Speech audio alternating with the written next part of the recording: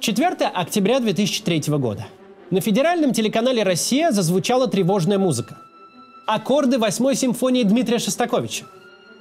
На экране возникают кадры кинохроники прошлого века. Так начался один из самых популярных и резонансных документальных сериалов на российском телевидении. Авторский 96-серийный цикл «Исторические хроники» с Николаем Сванидзе. Российская история – это остросюжетное кино про нас, с живыми людьми вместо актеров. На смертельные трюки каскадеры не приглашаются. Все сами, без страховки из первого дубля. Сто лет прошедшего века и сто лиц, которые вы увидите в деталях.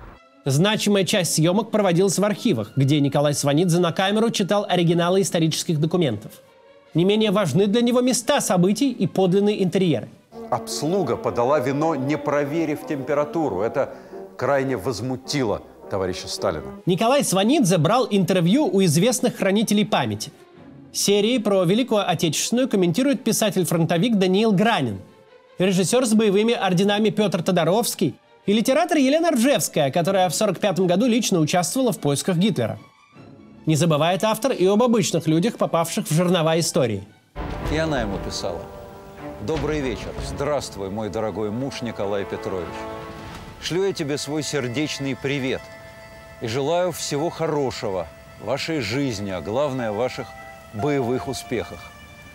Целуем мы вас 99 раз, еще бы раз, да, далеко от вас. Николай Курков с Уральского прииска смертельно ранен офицером из личной охраны Гитлера в имперской канцелярии. Он погибает, когда над Рейхстагом уже водружен наш флаг. Сочувствие, пожалуй, главная черта Сванидзе. Оно проявляется не только в его рассказах, но и определяло его отношение к современной политике. Сванидзе требовал помнить о цене побед и был категорически против любых форм подавления личности. С тех пор, как он приобрел в России широкую узнаваемость, его постоянно атаковали оппоненты. У Сванидзе, говорили они, нет беспристрастности исследователя. А историк, журналист и правозащитник Николай Карлович Сванидзе своих пристрастий и не скрывал. Везде, где сталкивались интересы государственной власти и граждан, он всегда был на стороне граждан. Николай Сванидзе умер на этой неделе, 11 сентября, на 70-м году жизни. Сегодня поговорим, что это был за человек и что он значит для новой России –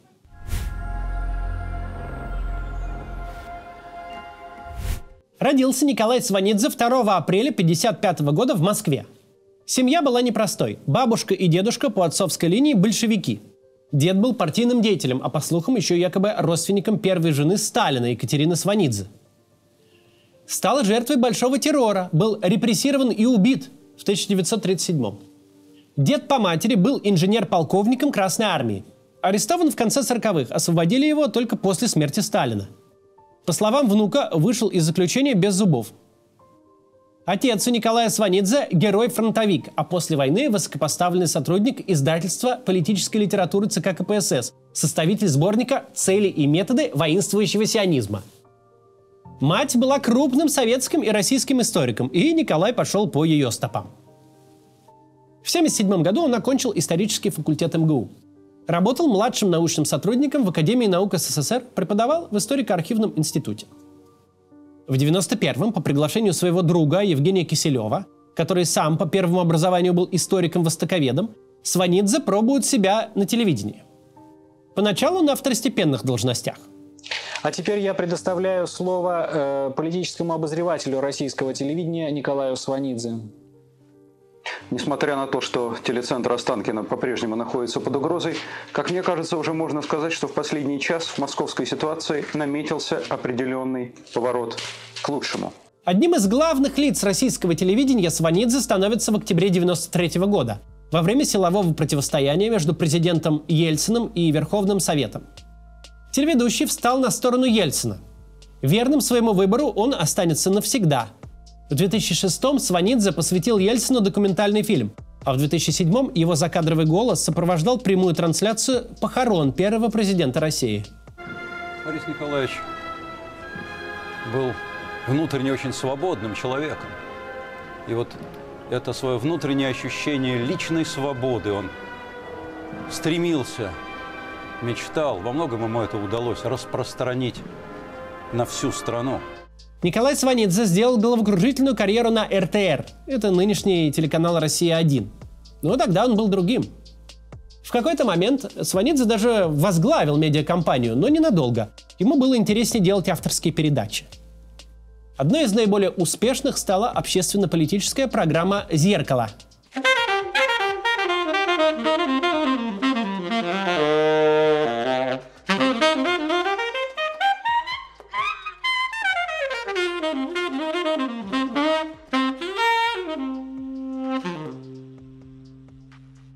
В наши дни посмотреть какой-нибудь из выпусков «Зеркала» словно поймать сигнал с другой планеты. Со вкусом сделанная заставка, размеренная речь ведущего, который говорит, а не рычит. Это что касается формы. А содержание можете оценить вот по этому фрагменту. Сегодня у нас в программе принимает участие полпред президента в Южном федеральном округе Виктор Казанцев, врач, также пережившая трагедию как заложник Фатима Шакова, Борис Немцов, который говорит о работе комиссии СПС по расследованию последствий теракта в Москве, и в прямом эфире министр труда Александр Починок с информацией о социальной помощи пострадавшим и родственникам погибших в результате теракта.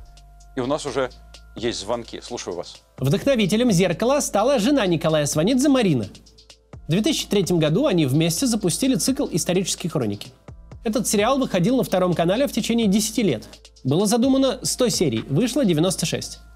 Авторы хотели показать панораму российской истории с 1901 по 2000 год. Дошли только до 93-го, потом передачу закрыли. Но зато закончился цикл на высокой ноте. История на самом деле наука с четкими законами. Но некоторые времена, годы иногда кажутся исключением, потому что вдруг вселяют надежду. Сериал «Исторические хроники» стал знаковым для истории Новой России. Невозможно подсчитать, сколько телезрителей заинтересовались прошлым страны, сколько студентов-историков выросли на хрониках Сваниц.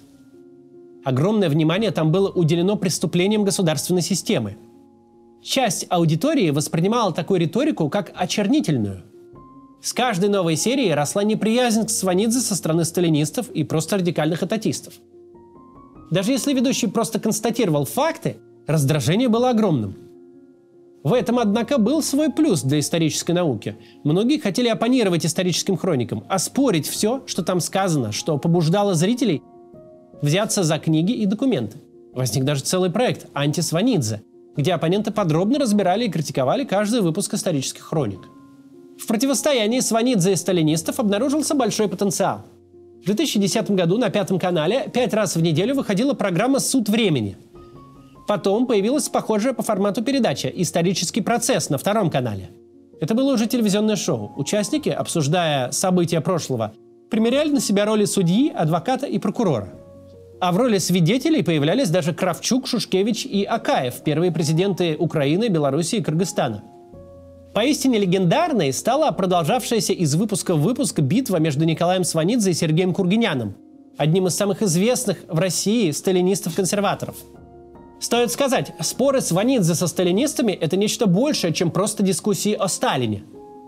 Это спор о смысле понятий патриотизм, страна, отечество, родина. Подразумеваем ли мы всех граждан в совокупности под этими словами или только политическое руководство – Некоторые из оппонентов Сванидзе придерживаются установки, которую озвучил еще французский король Людовик XIV в середине 17 века, что, мол, государство – это я. В такой системе координат тот, кто ругает Сталина, точно не может быть патриотом, потому что Сталин, получается, и есть Родина. Мало того, Сталин – Родина, победившая в войне, так что какой же патриот может его ругать? Сванидзе на протяжении многих лет последовательно обвинял Сталина что тот прямо накануне Великой Отечественной войны обезглавил армию, физически уничтожил большинство опытных командиров, чем заложил основу военной катастрофы 1941 года. И это стало причиной тех чудовищных людских потерь. Что сказать о последствиях для армии 37-38 годов? Без 1937 года, возможно, и не было бы вообще войны в 1941 году. В том, что Гитлер решился начать войну в 1941 году, большую роль сыграла оценка той степени разгрома военных кадров, который у нас произошел. Да что там говорить? Когда в 1939 году был ряд дивизий, которыми командовали капитаны, потому что все, кто был выше, были поголовно арестованы. Сванидзе прямо цитирует маршала Александра Василевского, который большую часть войны возглавлял генеральный штаб, мозг Красной Армии. Спорить с маршалом, дважды героем и дважды кавалером Ордена Победа, как-то не с руки даже убежденным сталинистам. Другое дело – либерал Сванидзе. Конкретные обвинения в адрес Сталина те постоянно перекручивали каким-то таким образом, будто критиковать решение вождя, который поставил страну на грань исчезновения, это плевать на могилы миллионов фронтовиков, будто это одно и то же. Однажды дело дошло даже до почти драки в прямом эфире. Сванидзе, который, казалось бы, давно привык, что с ним ведут недобросовестную полемику, опять услышав о том, что он, дескать, плюет на могилы, все же вышел из себя, встал и дал затрещину Максиму Шевченко. Началась потасовка.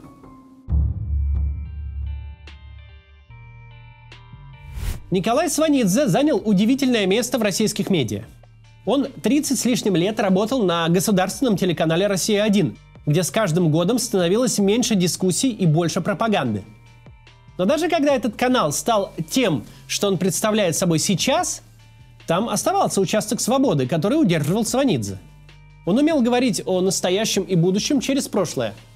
В 18 году, ко дню рождения диссидентки и правозащитницы Людмилы Алексеевой, он выпустил документальный фильм с названием «Не враги». В 16 и 19 Сванидзе рассуждал о том, что происходит со страной после ухода диктатора. Тогда он снял документалки «20-й съезд» и «Год после Сталина», в студиях медиахолдинга ВГТРК Николай Сванидзе придерживался определенных рамок, прибегал к изопову языку. Но, оказавшись на независимой площадке, становился совершенно независим. На радио «Эхо Москвы» он открытым текстом говорил то, что думает. Мол, какими бы ни были правила на федеральном телевидении и радио, в свое личное время я свободный человек. И Сванидзе смог себя так поставить, что на ВГТРК его не трогали – да, стали считать чужаком и народным телом в коллективе, но работать не мешали. Александр Григорьевич, журналистам не место в автозаке и на нарах, особенно если эти журналисты женщины. Преследуя их, сажая за решетку, вы демонстрируете не силу, а слабость. Александр Григорьевич, освободите Катерину Борисевич, Катерину Андрееву и Дарью Чульцову. Оставьте журналистов в покое. Дайте им выполнять свою работу. Николай Сванидзе также был и правозащитником. Почти 9 лет он проработал в общественной палате. 10 лет, с 12 по 22 год, он входил в президентский совет по правам человека. Как правозащитник он вступался за фигурантов болотного дела. В 19-м вступил в пикировку с Путиным. Цитирую. Трогать полицейского нельзя, а женщину бить в живот можно? А стоять у нее на голове можно? А оставлять ребенка год и 9 месяцев одного без присмотра можно? На мой взгляд, нет. Таких примеров много. Немотивированная аморальная жестокость. У нас ведь и пытки приняли системный характер. Тогда Путин в ответ начал рассказывать о полицейском насилии в США. В таком же духе президент отвечал на требование отменить антиконституционную дадинскую статью о митингах, сделать обязательным ношение номерных нагрудных знаков для всех полицейских, чтобы идентифицировать тех, кто превышает полномочия – также отвечал и на требования отстать от мемориала и движения за права человека, упразднить институты на агентов, возбудить, наконец, уголовное дело по факту отравления Навального. Выступление Сванидзе насчет отравления было настолько жестким, что его даже вырезали из официальной видеохроники. Осталась стенограмма, я процитирую.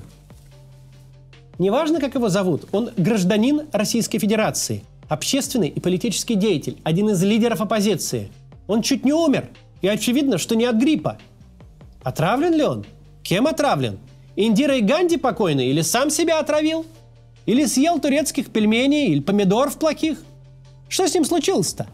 Отсутствие уголовного расследования по делу Алексея Навального в нашей стране имеет не только репутационные последствия, но и умаляет право граждан на защиту со стороны государства.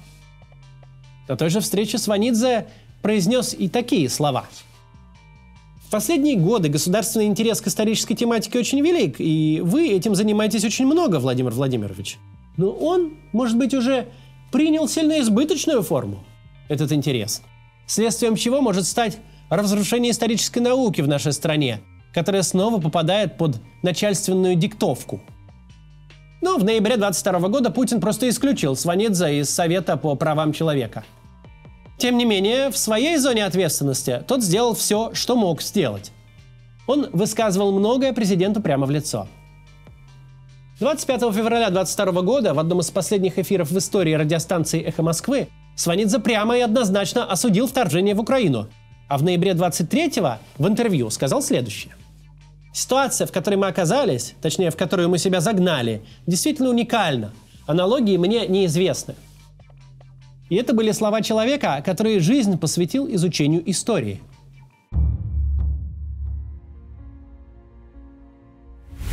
В 21 году Сванидзе выпустил свой последний документальный фильм «Гетто». На этот момент автор уже тяжело болел. Он очень мало появлялся в кадре – а зритель даже не догадывался, какого труда стоило ему читать закадровый текст. Лента посвящена еврейским гетто, которые в 40-е годы создавали нацисты на оккупированной территории Европы и СССР. Архив издан, так же как дневники Шура и другие сохранившиеся записи. Остались детские библиотечные карточки. Видим, что читал Ося Марголис – а сверху крест. Значит, уже убит. Несмотря на тяжелую болезнь, Николай Сванидзе как мог посещал важные для него мероприятия, научные конференции, достойно выдерживал и критику, и хамство со стороны коллег-историков.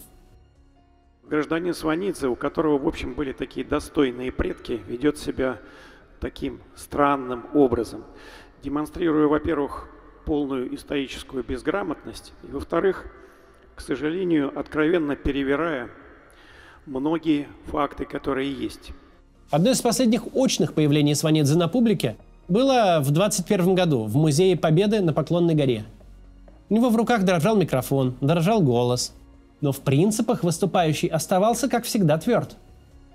Через рассказ о прошлом Николай Сванидзе снова предупреждал нас об опасностях настоящего – говорил о том, что нельзя считать политиков, возглавляющих государство, непогрешимыми.